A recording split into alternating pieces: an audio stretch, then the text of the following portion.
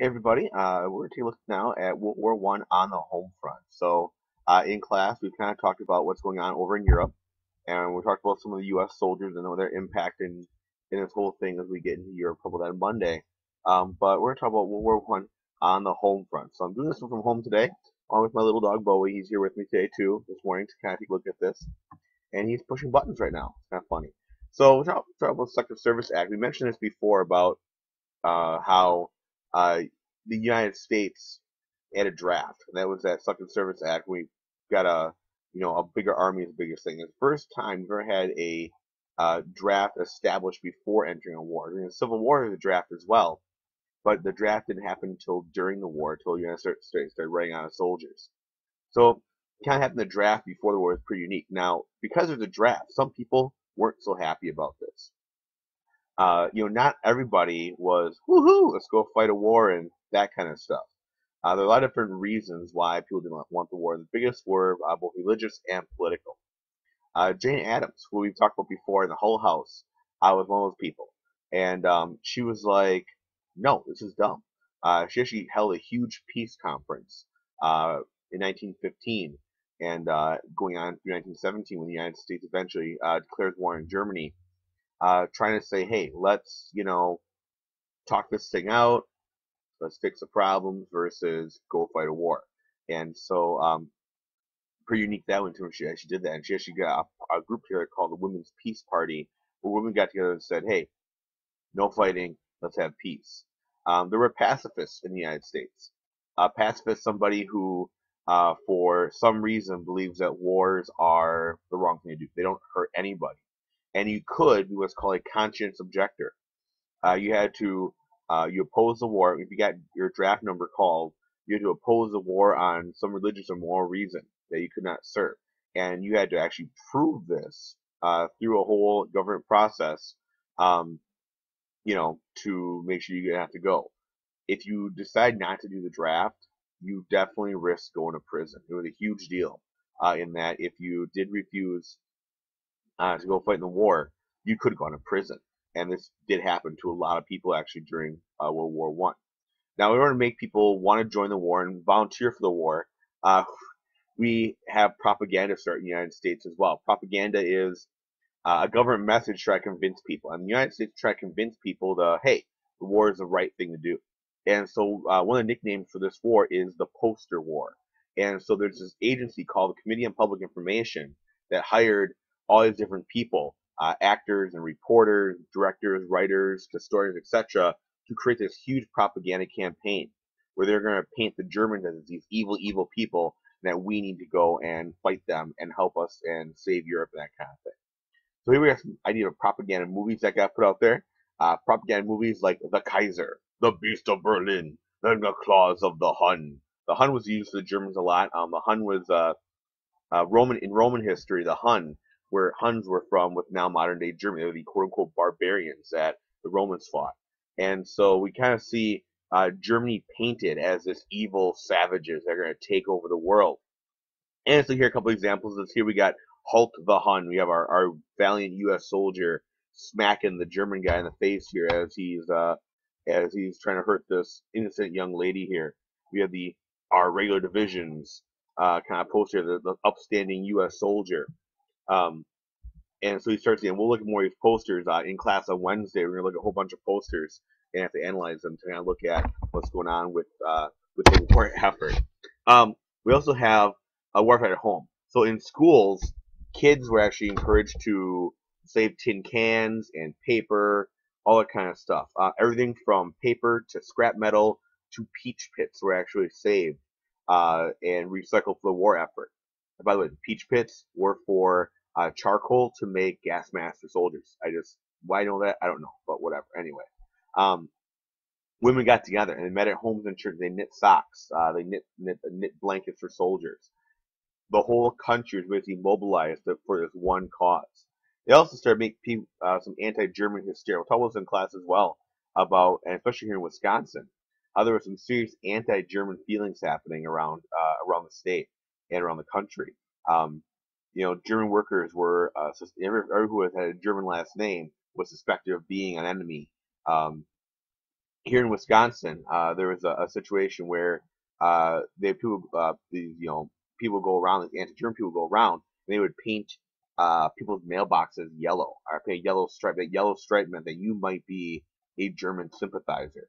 Uh, they even changed the name of food. Okay, um, sauerkraut, which is a very German dish, became Liberty cabbage, and um, you know, uh, uh, the idea of a of a of a wiener of a of a of, of like a, a, sausage, okay, all became like hot dog and that kind of thing gets gets out of this because of not trying to call it knockwurst or bratwurst or those kind of things. It was like Liberty sausage and that kind of stuff. Um, you know, if you're a German American name, you could have gotten fired from your job, even though most German immigrants were like, "Go USA, we like this, go fight the war." Uh, things were censored as well. Um, it said all things German came disloyalty, even sauerkraut. Yes, ladies and gentlemen, even sauerkraut. Um, you know, but there were things like uh, ger- famous German composers like Ludwig van Beethoven. His music was disallowed. Libraries got rid of German authors. Um, papers that were written in German went away. I know um, I, I found records of my, my home church in Shawano, and they used to do a German church service. And during World War One, they actually stopped doing a German church service, uh, even though a lot of people there were German, spoke German, those kind of things. Uh, German newspapers got put away. Um, the U.S. the Sauk City had a German newspaper which did continue through World, which I'm not sure if it uh, suspended or not, but it was available after World War One. But I'm not sure if it was suspended or not. I know there are a lot of German papers all around the state that were suspended. They actually got rid of uh, uh, German papers during this time as well. So there's a lot of censorship of all things German in the country at that time. Now, because a lot of guys are joining war, we have an army that goes up to two million people. Uh, women took over a lot of jobs that were traditionally done by men um, looking at a lot of these kind of jobs, which might be bank clerks, and ticket sellers, uh, chauffeurs, that kind of thing. Even industrial jobs. Here we have women that are mining coal. We have women working in factories building uh, artillery shells for the war. Um, a lot of jobs taken over by women. And we actually see some big movement the women's rights movement. We see women get the right to vote just after World War One, and kind of that that little push that, that progressive movement needed uh, was the fact that women took over these jobs during World War One and helped to convince Congress to change that amendment uh, and get uh, rights for women. Uh, now, questions: We're fighting a war, so how the heck do we pay for it? Wars cost a lot of money. All the equipment, all the pay for soldiers, all that kind of stuff. How do we pay for this war? And so the idea is to use war bonds. Uh, war bonds are a certificate, basically a loan you make to the government. So if you buy a hundred dollar war bond, you promise that you give the, that money to the government right now, and the government promises to pay that money back at a certain rate of interest. Is what they're going to do. And so the big push is for war bonds. And you see a lot of uh, posters here that you buy war bonds. I'm not sure pass. Uh, I have an actual uh, little war bond thing we'll pass around class. Take a look at. Um, war bonds or liberty bonds provide a lot of the money that people need. You kind of see the posters here encouraging people to buy war bond stamps. You buy a little stamp uh, as a as a way to um, a little stamp as a way to kind of to purchase that bond. And then later on, after that bond matures at 8, 9, 10% interest, you get extra money back. So really, it's, it's, it's almost like an investment for people to do. Um, and all these different movie stars and famous people, sports heroes, uh, baseball players, uh, football players, actors, actresses, uh, encourage people to go, authors, that kind of stuff, encourage people to go and buy war bonds.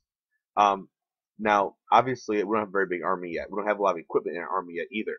And so we had to try and shift our total government here from buying goods to buy to buying war goods. So we uh, Woodrow Wilson created something called the War Industries Board. It was a government group that basically directed the country to create to get enough materials for the war.